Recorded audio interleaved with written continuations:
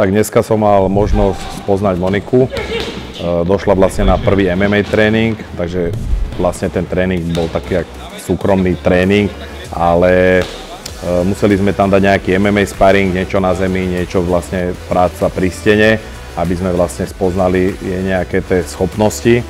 Milo ma prekvapila, myslím si, že ani to MMA nebude cudzie a určite prekvapí do budúca aj možno v tom MMA.